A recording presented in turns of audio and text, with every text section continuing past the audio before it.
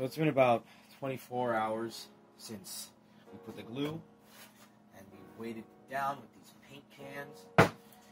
Basically been checking on it every so often. Good catch, huh? Right, so just by basically inspecting it, you can see that it has stuck pretty well. You can tell by the color of the glue. Seems to have bonded everywhere. A trigger mechanism still works. Alright, let's take a closer look at it.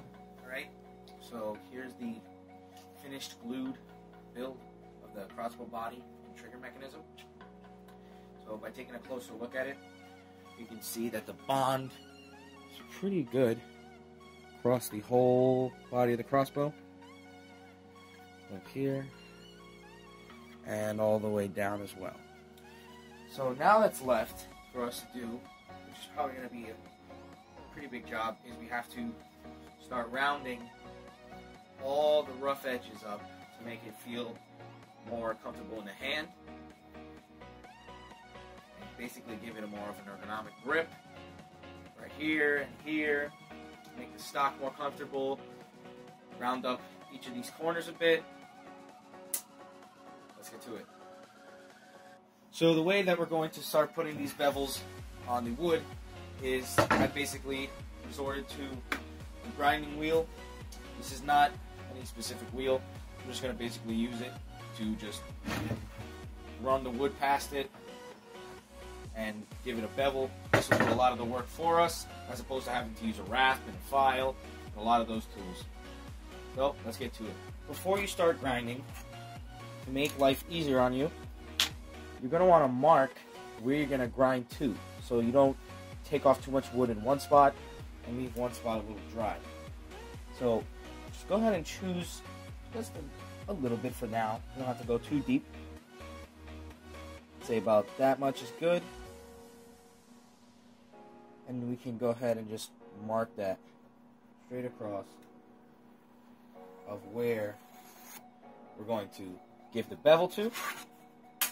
We're also going to want to do that on the flip side, right on the top. Give it about the same distance.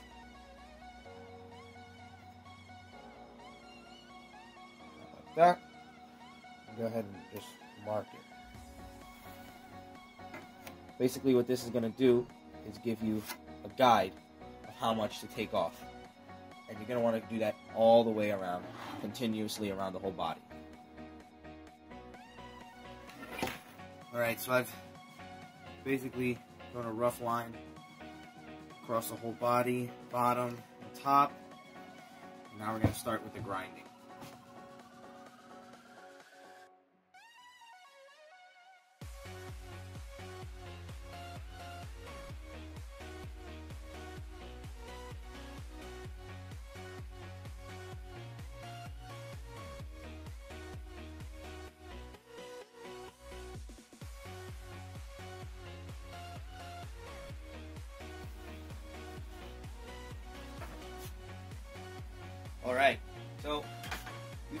Done a pretty rough, but the grinding wheel has done a lot of the work that we would have had to do by hand. Uh, we've pretty much changed the whole life of this crossbow body. Uh, we'll show you an up close of the grip. You can see it's pretty much rounded everywhere, and it feels really good in the hands. Really, really comfortable. Next job is going to be taking sandpaper and going to rub it over over again, back and forth, until we can pretty much make it really, really clean and try to make it as smooth as possible everywhere. So let's get to it. Alright, so we're going to go ahead and open up our vise here, have it clamped down pretty strong. You're want to have two pieces of wood so you can put it in between the two clasps of your vise so you don't mark up your wood. We can go ahead and open it. Place our wood in the middle. We're going to put it right here for now. Move it down actually a little bit. Put it right where the stock, uh, the uh, grip is. wood in between. Now tighten.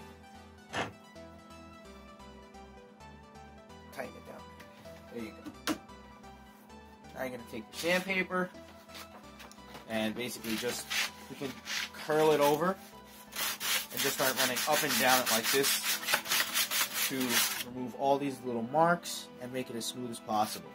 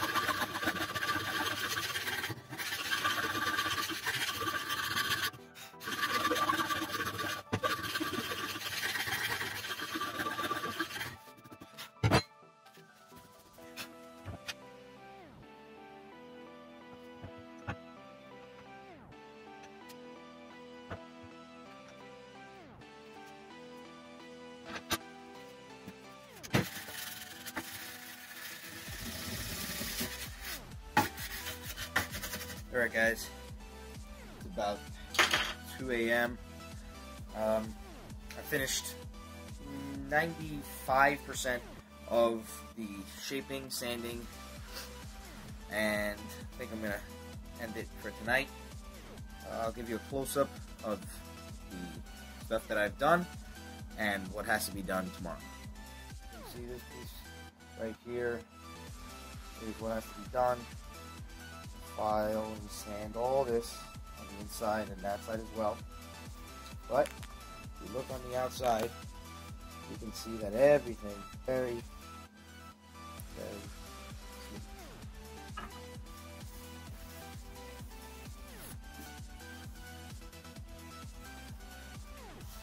I'll give you a closer of the other side as well. Okay, so again, we look this side tomorrow, but the rest of it all very smooth. This grip I'm very happy with. It's just really, really smooth. Feels really good. Focus there.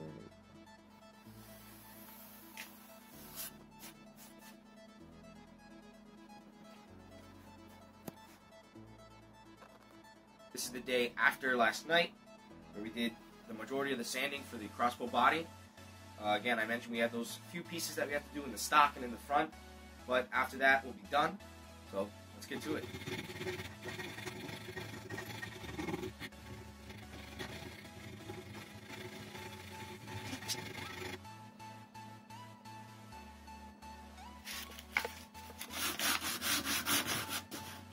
finished all the sanding for the whole body of the crossbow. Everything is rounded off and really smooth give you a close-up right now. You can see that the whole stock is rounded, really smooth everywhere. Everything is rounded off. The handle, everything, this, this grip right here, and all the way up to the muzzle, where the PVC goes, is also rounded and smooth.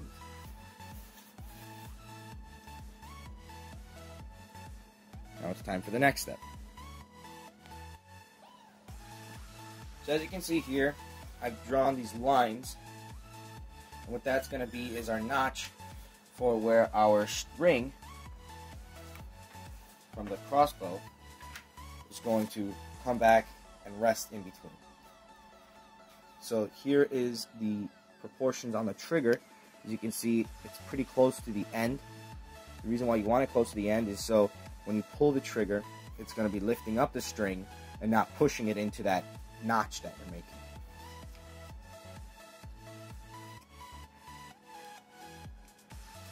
Now let's cut that out. When you're going to cut this out, keep in mind that you don't want to have your trigger up, obviously, or even down a little bit. You want to have it completely recessed, meaning back all the way down as possible so you don't run into your trigger while you're cutting and wreck your trigger.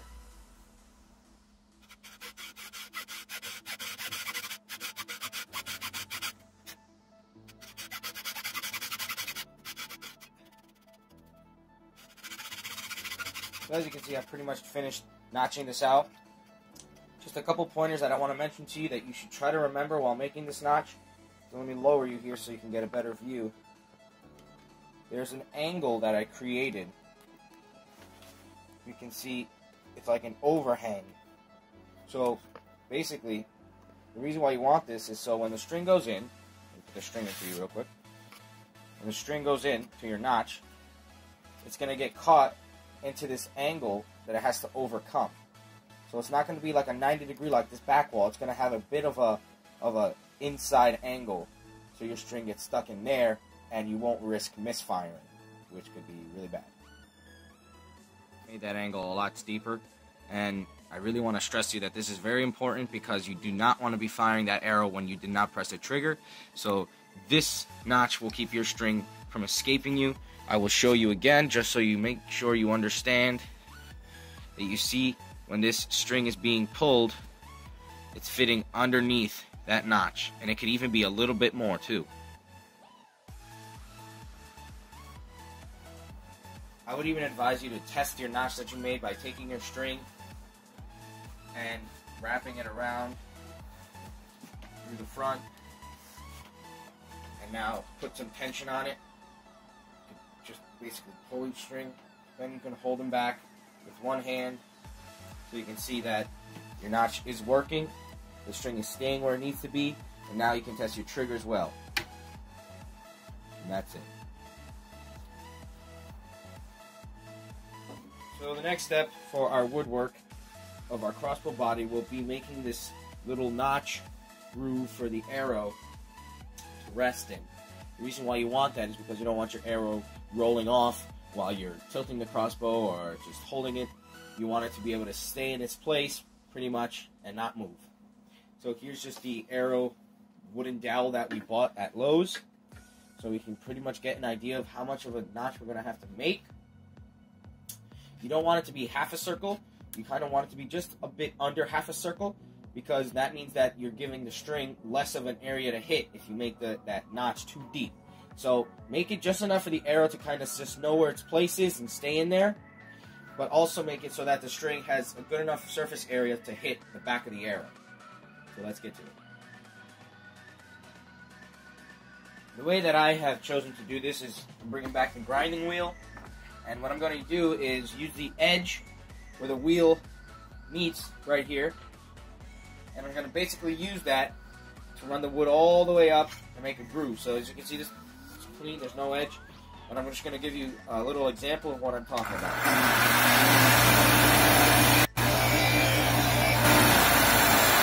So you can see right there, maybe a groove. So basically all I use that for is to get down as much wood as possible and then I'm going to have to finish it up by using files, sandpaper, and vice versa. So this whole Sharpie region is what I'm going to have to grind out. Let's get to it.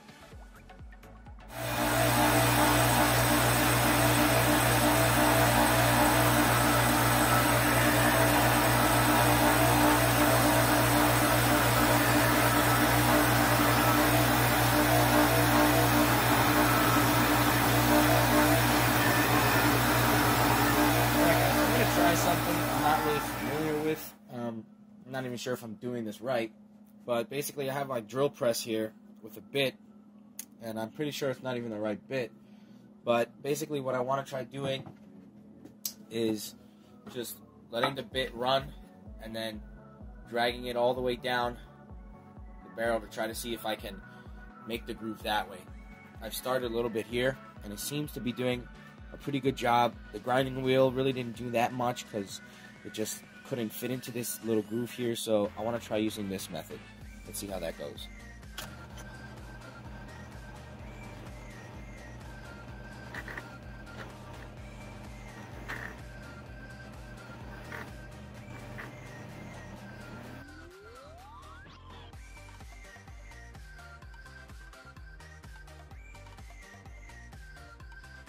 Now that we've pretty much done all that we can do with this, I'm gonna have to start going in by hand with some sandpaper. But I do have to admit, it's a pretty darn good idea. I'm not saying that's you know I'm Einstein and that's why E equals MC squared, but did its job pretty well. Go ahead and take a look. Pretty much made that notch we were looking for all the way down. Now we just got to do some cleaning up here. And then we should be pretty much good to go.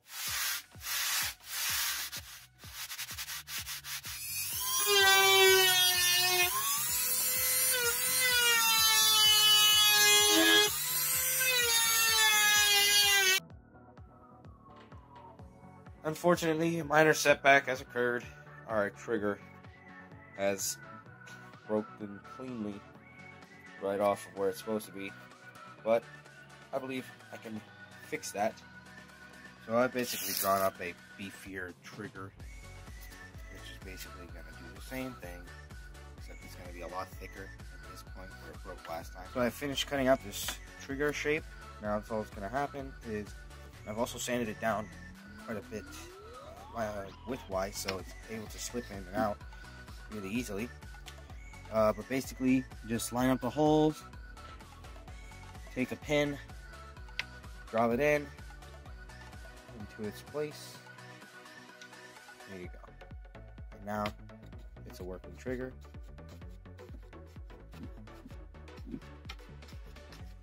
Cool. So now finished making this groove. It goes all the way down the top of the body of the crossbow. And you can see that the arrow fits in quite nice. And that'll be the exit path. So now for pretty much the last step, I've taken off the trigger because we're going to be spray painting now.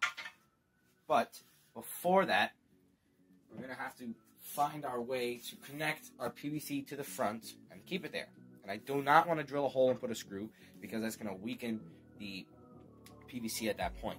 What I'm going to do is I'm going to take my drill and I'm going to drill a hole through the body of the crossbow right here so that when we put the PVC pipe on, we can just tie it down through that hole. And that'll be the way we will keep it on.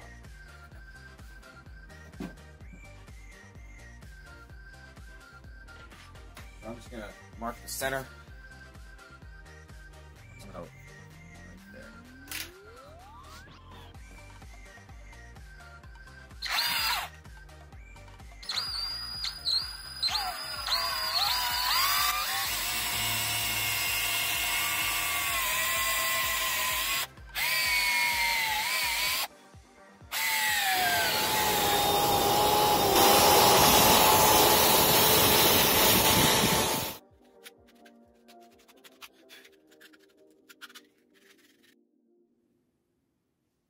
I do want to keep some of the wood look on this channel right here, and I also feel that the paint could affect the smoothness of the wood on wood. So what I'm going to do is I'm just going to take some regular masking tape and I'm going to run it down the channel.